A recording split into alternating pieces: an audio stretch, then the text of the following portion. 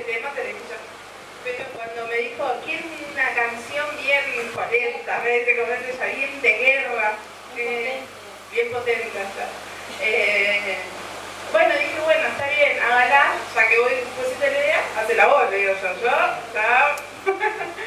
eh, así que fue esta semana todo confirmaciones, todas cosas que, Dios me confirmaba a través de, de compañeros de trabajo, en la familia, y yo le pedía esta confirmación al Señor de lo que había preparado, eh, de lo que había buscado, de lo que Dios me había hablado para, para darles a ustedes este día porque la verdad que tenía eh, el miedo de, escribir algo y esperar algo que sea de algo mío y, no hacerlo, hacerlo por lo que me parecía a mí.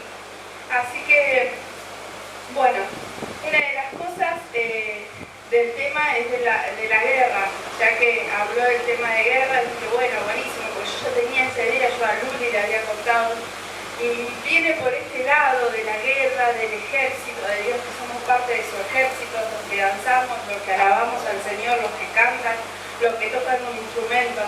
Y, cuando ella me confirmó fue ya la primera confirmación, dijo, bueno, vamos por ese camino. Y después me agarró el sí, el wiki, decir, mmm, este, esto no me gusta, no me gusta hablar.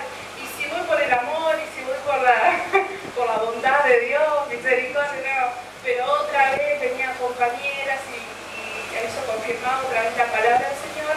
Esta semana en el grupo de danza tuvimos también un tiempo de, guerra, un tiempo de que pasamos luchas y pruebas, pero pudimos salir adelante. Estamos las que quisieron y las que pudieron estar, como hablamos hoy esta mañana. Los que eligieron estar, los que pudieron estar por circunstancias, pero eh, Dios tiene un propósito y Dios nos quiere hablar a nosotros en nuestra mañana. Amén. Amén. Bien. Hay dos ejércitos. Eso quería comentar. Hay dos ejércitos contables. O eh, hacer entrar referencia a lo que es la palabra. Está el ejército de Dios y está el ejército del diablo. En el ejército de Dios, el comandante es Dios. El primero es Samuel 47 dice, Goliat amenazó a David, pero David le contestó, tú vienes contra mí con espada, lanza y jabalina, mas yo vengo a ti en el nombre de Jehová de los ejércitos, el Dios de los escuadrones, el Dios del ejército celestiales, eso se refiere, de Israel a quien tú has provocado. Como Dios se David se presenta delante de, de. ¿sí? Ahí, vemos que, ahí vemos que él es el comandante del ejército, de nuestro ¿sí? ejército. Eh, vamos a hacer una oración. Yo te voy a, pedir que te pongas de pie.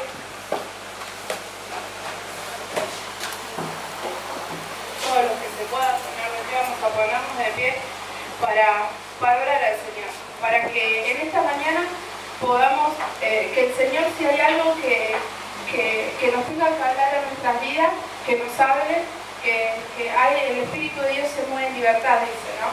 Podemos buscarlo y podemos escuchar, ¿sí? Señor, te damos gracias, Señor, en esta mañana. Gracias por este momento, gracias por los chicos de danza, por los chicos de alabanza, por las personas, Señor, que tú has preparado en este día, que eligieron estar en este lugar, Señor. Te pido que tu Espíritu Santo esté tomando el control y el dominio de nuestra mente, de nuestros cuerpos, Señor, de nuestro Espíritu, Dios, en el nombre de Jesús. Hoy queremos, adorarte, hoy queremos alabarte, Señor, escuchar tu palabra, Señor. Para eso llévate todo lo que está impidiendo el fluir de tu Espíritu Santo todo espíritu de sueño, todo espíritu de cansancio, todo espíritu que estorba las mentes, en el nombre de Jesús.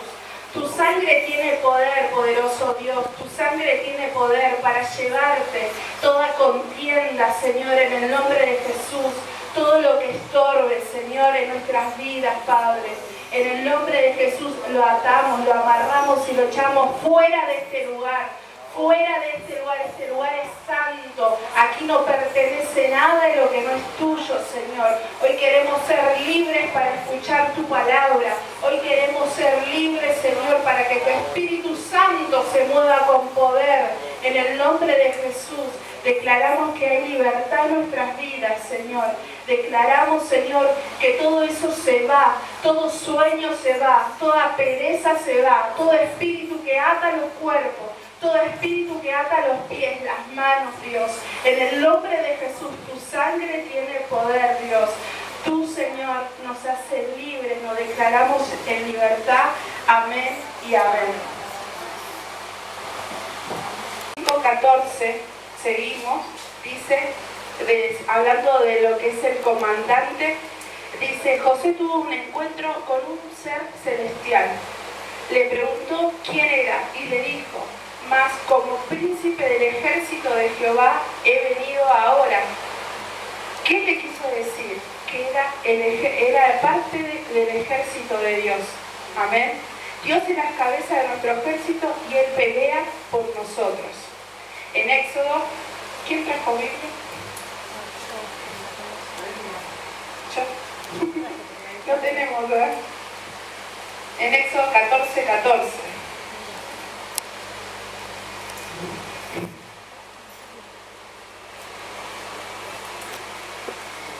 Éxodo 14, 14 dice,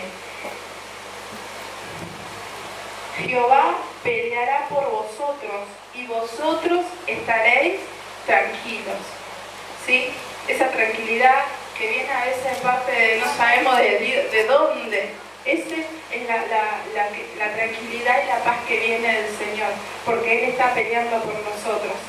También una parte del ejército son los ángeles. Tenemos a Dios, al, al príncipe, y vienen los ángeles, el ejército de Dios que dice Salmo 91, 11, que lo compartí el otro día en el Facebook, que dice, pues a sus ángeles mandará cerca que te guarden en todos tus caminos.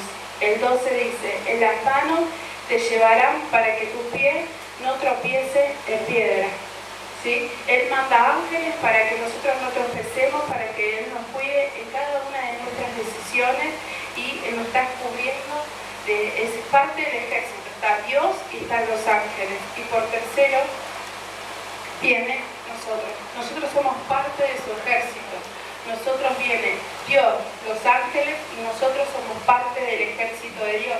En Lucas 10, 19 dice, he aquí os doy potestad, nos da autoridad, de hollar serpientes y escorpiones y sobre toda fuerza del enemigo y nada os dañará no tenemos que tener miedo porque Él nos da la autoridad, nos da la autoridad sobre los poderes del enemigo. Dice en Santiago 4.7, resistir al enemigo y Él huirá de nosotros. En el libro de Efesios, el libro de Efesios a mí es un, libro que eh, una de, las, siempre estamos hablando de la armadura y lo que es la danza. nosotros que estamos en el Ministerio de Arte, la armadura de Dios es como es importante para salir al campo de batalla. Entonces, eh, le voy a compartir ese en Efesios 6.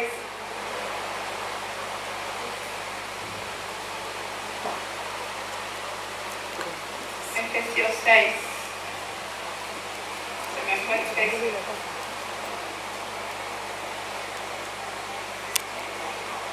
Efesios dice, por tanto, tomad toda la armadura de Dios para que podáis resistir en el día malo y habiendo acabado todo, estar firmes, seguir de pie.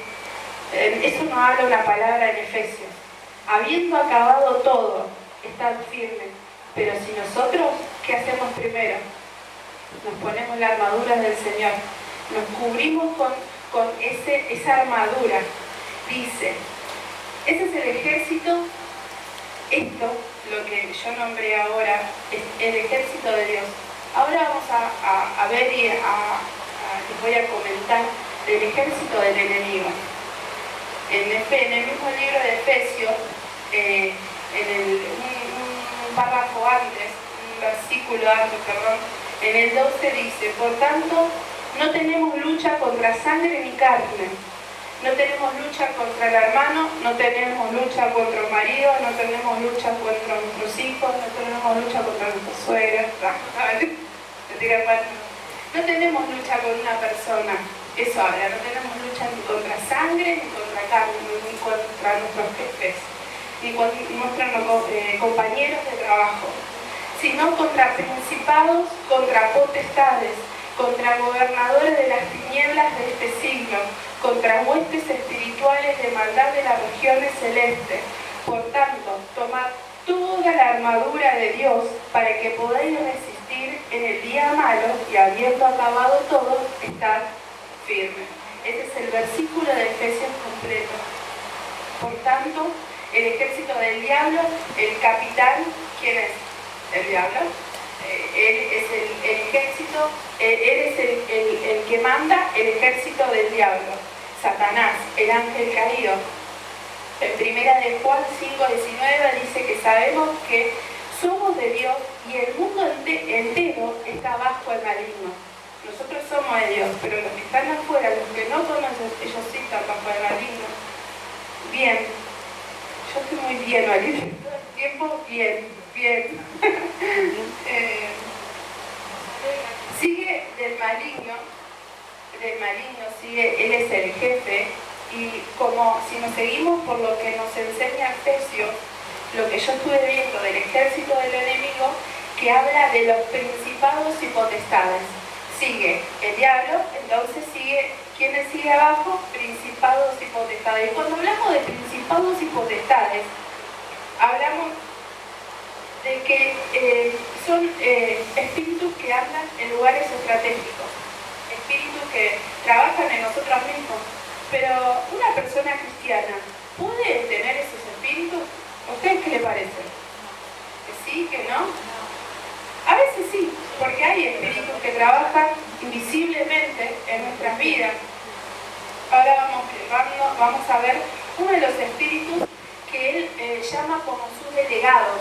El enemigo manda a sus delegados ahí para, y yo estuve buscando una de las, de las cosas que me sirvió allá, eh, en Ezeiza cuando me estaba antes, eh, nos daba mucho lo que es el ambiente espiritual. Y a mí me sirvió eso. Y una de las cosas fue buscar por internet y en, los cuadernos que vamos anotando era el ejército los, del enemigo está compuesto primero por el espíritu Belcebú, que es el príncipe de los demonios. Él está encargado de llevar a la gente a la glotonería, también es idolatría y envidia. Él está encargado de la glotonería.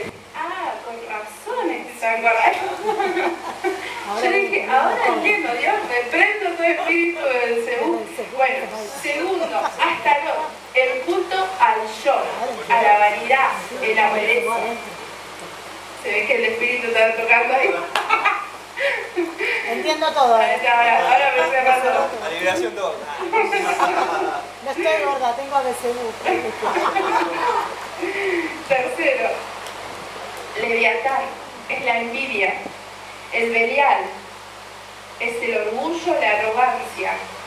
El quinto, Asmodeo, la lujuria, la que separa los matrimonios también.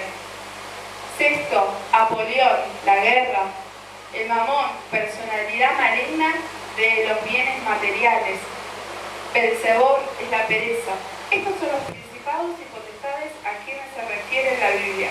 Para eso tenemos que guerrear.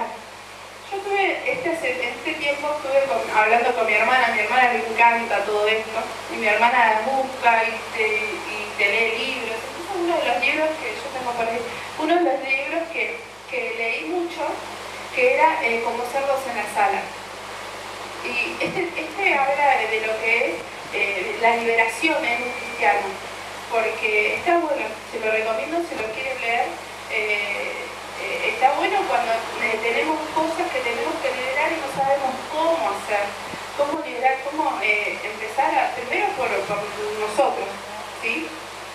Bien, muchas de las oraciones son respondidas al hay que persistir hasta que llegue y guerrear hasta obtener lo que pedimos.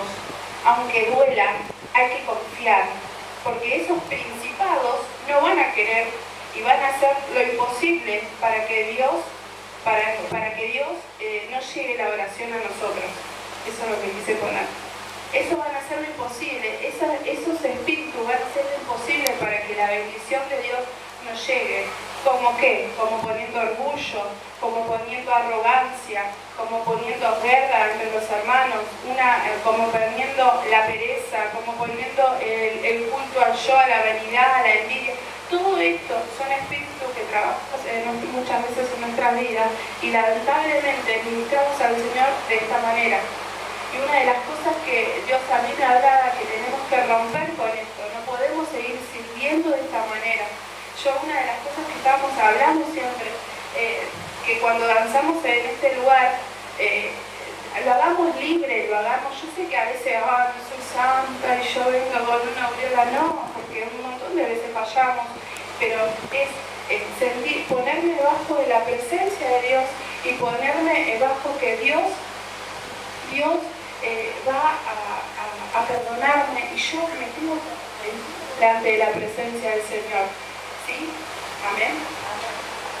Bien, seguimos con el ejército del enemigo. Tenemos el diablo, tenemos los principales y seguimos que lo que habla del Efesios nos habla de las muertes espirituales de este siglo de maldad en las regiones celestes. ¿A quiénes se refieren con esas personas? Son las personas que eh, hacen un trabajo, pactan con el diablo. Eso, se refieren a esas personas. Eh, que hacen brujería, que necesitan. Esas personas trabajan, eh, ¿a qué se refiere?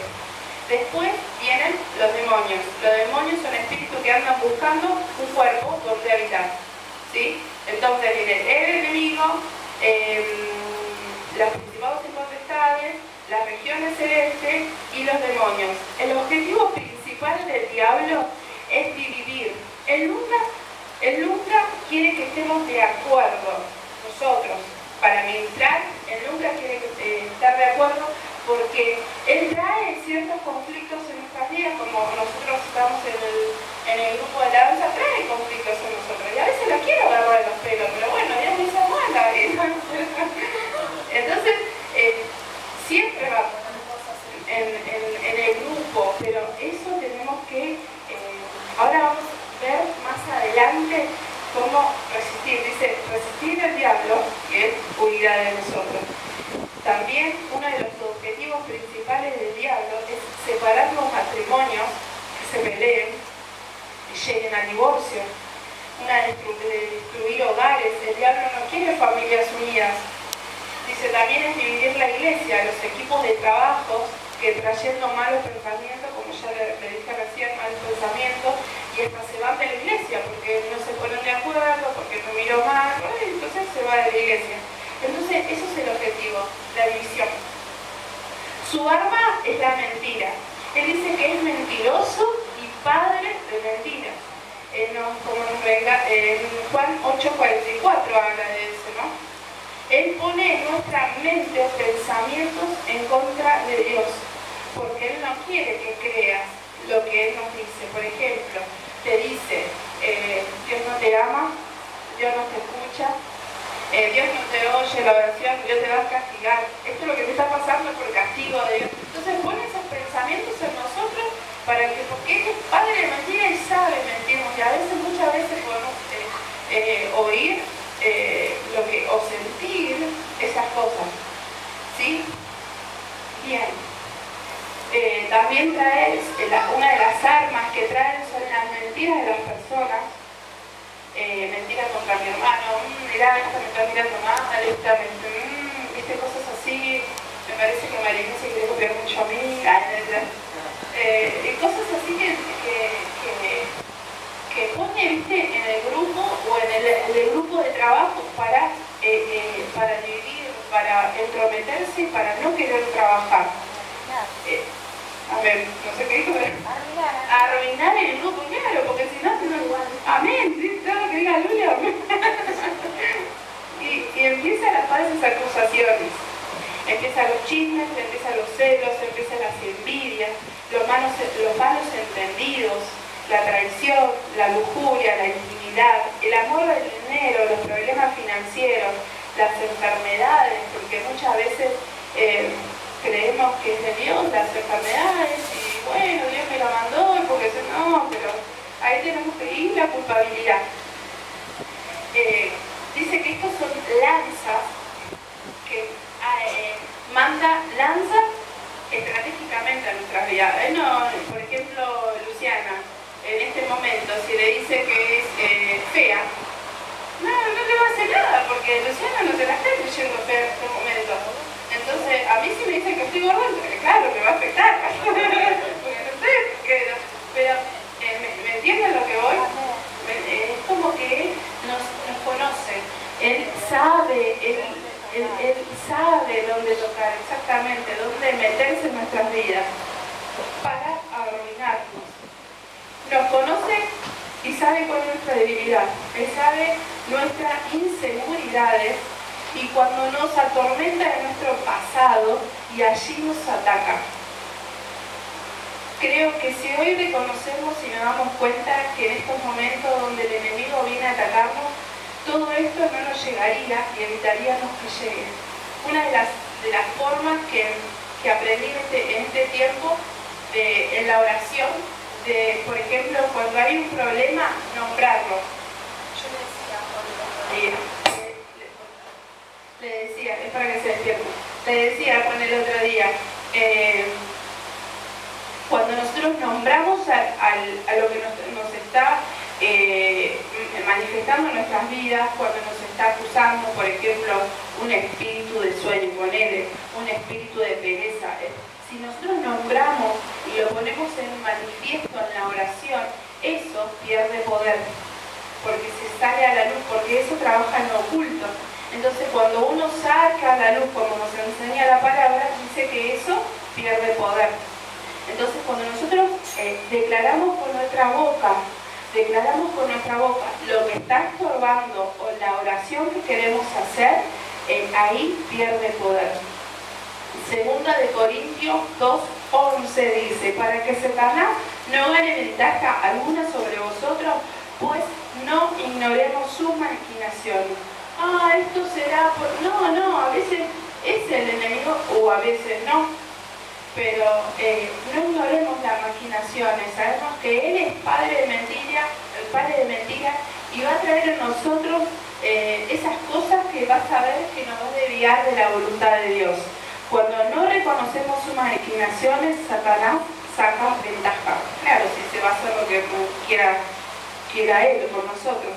Cuando lanza un dardo y pega nuestras vidas y nos damos cuenta y creemos y no nos damos cuenta y creemos que eh, eso es de verdad, por ejemplo las falsas acusaciones o los chismes, empieza a, meternos en nuestros corazones y empezamos a hablar mal de uno, empezamos a hablar mal del otro, empezamos a acusarnos unos con los otros como hermanos, porque a veces nos destruimos nosotros como hermanos. Eh, hablando mal de uno del otro y ahí empieza a haber la discordia uno de los temas que a mí, por ejemplo, eh, yo decía, eh, y siempre lo compartía con las chicas, nosotros como grupo de danza, tanto los varones como las chicas grandes, tenemos a veces ciertos inconvenientes. Y poder hablarlo y poder compartirlo, yo creo que todo, en, todo grupo pasa. El Ministerio de Arte también pasa. Yo tengo un montón de, veces de, situaciones en el Ministerio de Arte se resuelven eh, hablando, se resuelve orando, pero cuando nosotros empezamos a declarar, eso pierde poder. No nos, va, no nos lleva a ver, no nos lleva a ver cosas que antes no veíamos, perdón, lleva a ver cosas que antes no veíamos y hablar cosas que antes no hablábamos y sentir cosas que antes no sentíamos, sentimientos de muerte, por ejemplo. Me quiero morir, yo soy, no sé, no doy más, y todas esas cosas que nosotros empezamos a declarar, ahí el, el, enemigo se empieza a, meter en nuestras vidas y le damos la puerta abierta para que haga de nosotros lo que quiera.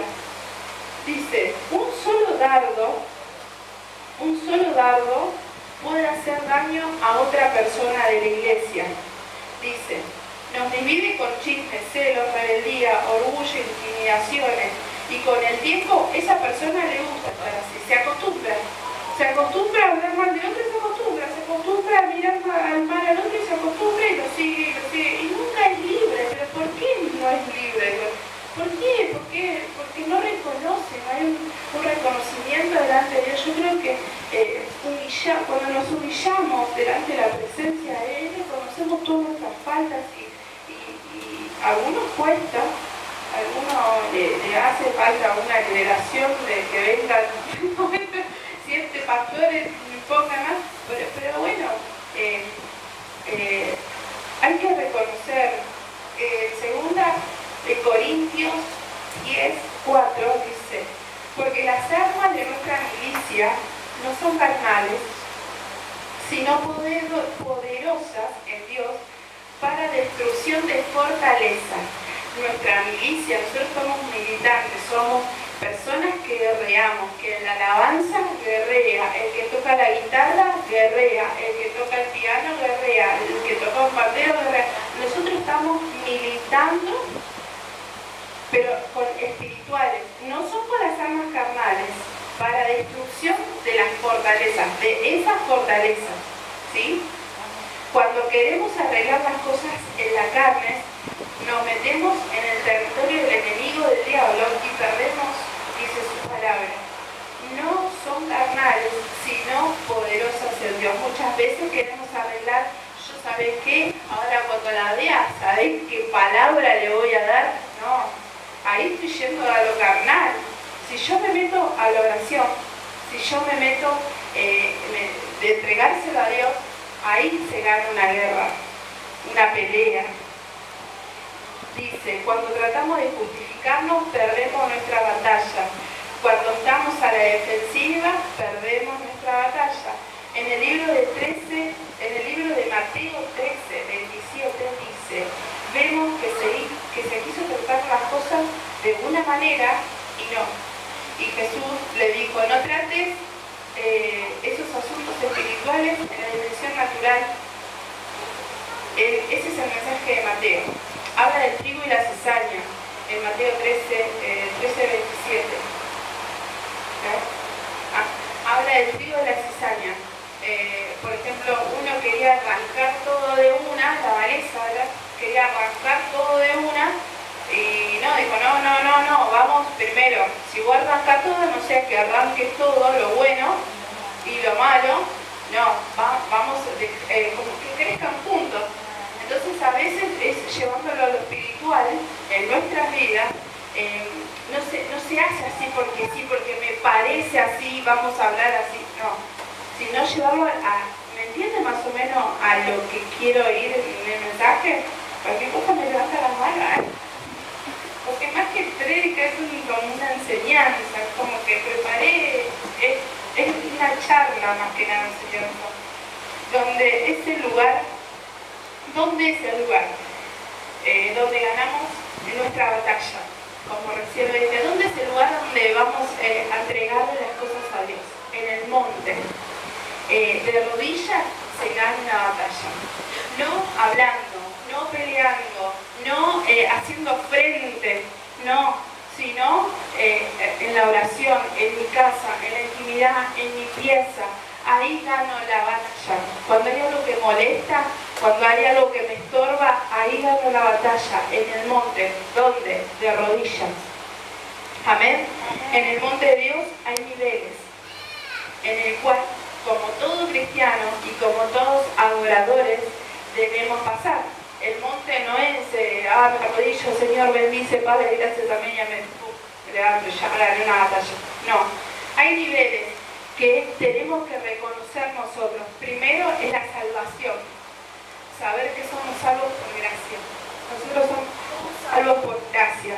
Eh, una de las, confirmaciones que, el pastor pasado, pasado dio Dios de, que Él nos escogió del vientre de nuestra madre y, nos salvó y nos limpió y, nos dio por, ¿qué? Por, eh, por profeta a las naciones. Dice, la primera es la salvación, saber que somos salvos por su gracia. La segunda, el segundo eh, nivel del monte de Dios habla de la seguridad de la salvación. Eh, mi posición en Cristo. Yo estoy acá como para hablar en criollo, en criollo, me la tengo que creer. Yo tengo que saber que fue una escogida de Dios, que cada uno de nosotros fuimos unas escogidas de Dios para estar en este, en este lugar, para adorar su nombre y tenemos que saber nuestra posición y que Él nos envió primero. Tercero, es la santificación, libre de nuestro pecado. Las cosas se hizo nuevas en Dios. Los pecados, los pensamientos, todo eso que estorbe saber, eh, todos no somos libres de, de esas cosas. Como antes le comentaba, cada uno pelea su batalla, cada uno eh, le pide al Señor que santifique nuestras vidas y, y las cosas sí son todas nuevas. Amén. Amén. Cuarto, vida de oración. Antes de contestar, suba al monte. Antes de pelear, suba al monte. Antes de enfrentarte con una hermana, subí al monte. No, no te vayas así de, de, yo soy igual a veces cuando las chicas a veces, y cuando hay algo que no me molesta, me voy con toda, ¿eh? pero porque yo, yo soy así, soy muy dulce, pero cuando, y Juan también, por en casa me, molesta algo y arde Troya, arde, arde sexo. Bueno, bueno, pues estamos hablando de otra cosa, ¿verdad? Estamos hablando de ustedes, Dice, el quinto, la alabanza y la adoración. Esto es un arma de guerra poderosa en Dios porque le rendimos sacrificio de alabanza en medio de nuestra prueba, aunque no entienda mucho y, aunque no sepa cómo, cómo decir, o cuando nos habla del sacrificio de alabanza, ¿qué es rendir un sacrificio de alabanza? en medio de ese dolor, en medio de yo te adoro, Padre, te, alabo, te bendigo porque te ha escogiste, porque soy tuya. Entonces, eh, eso es un sacrificio de alabanza. Es en el medio de todo el caos, yo creo en vos. Y cuando nosotros confundimos al enemigo, cuando nosotros le agradecemos a Dios por todo, somos eh, eh, agradecidos delante de su presencia, Él empieza a obrar y el enemigo se empieza a confundir. Pero ¿cómo? Si yo le estoy mandando un dardo de, que, es, eh, de, que, está, de que está fea. ¿Cómo? Pero si yo le estoy mandando un dardo de que nadie le habla. Pero que son darditos que Él manda porque nos conoce, cada uno, imagínense en su, en su cabeza en, qué le está, en qué le duele. ¿no? Imaginamos, cada uno de nosotros en nuestra cabeza, donde el enemigo piensa atacarnos y empezar a manifestar con nuestra boca y ahí el enemigo pierde poder. Cuando nosotros declaramos con nuestra boca, el enemigo eh, eh, pierde las fuerzas, ¿sí? Pierde poder. Dice, en Santiago, y cierro con esto, en Santiago 4.7 dice, someteos a Dios resistir al diablo y él huirá de vosotros. Someteos a Dios. Resistir al enemigo. En esto, en declararle, en decir, yo soy, tengo esto, Padre, tengo esto que me, me, estorba, tengo esto que no me deja avanzar, tengo, eh, pienso tales cosas que no, eh, no sé, que no me deja eh, ir a la iglesia. O en un momento Juan me contaba que se encontró con un hermano que no sé quién es, que antes venía en este lugar y lo conocía Juan con el subte. Ah, Neva, pero dice que antes venía acá y que no viene, no viene porque tiene miedo de lo que las personas le digan o entonces eso es ah, obviamente cuando se va nos dice la palabra hablando de lo espiritual eh, se va, dice que una persona se aleja para mal, se aleja, siete demonios vienen peores que el que fue libre antes. ¿Qué quiere decir? Que si te vas, te va a ir peor que lo que estabas ahora. Yo estoy dando una enseñanza para, que, para que me entienda a qué, refiero, a qué me refiero. Cuando yo me voy de este lugar mal, cuando yo me voy de un lugar hablando mal de mis hermanos, cuando yo me, eh, creo, porque a veces muchas personas hace falta que tenga el enemigo, tenga un espíritu para, para hacer esas cosas. Muchas veces sale de uno y no es un demonio, es la persona misma. Eh, pero eh, mire lo que piensa esa persona. Mire eh, que no viene a este lugar porque tiene miedo de lo que le dirá que se fue. Y él me decía, tiene un olor a alcohol, tenía impresión, o sea, que se fue por, por la chica. Así que hay, que hablar por las personas que se fueron de este lugar. Era David, era David, tenía el capítulo y era alto, ¿eh?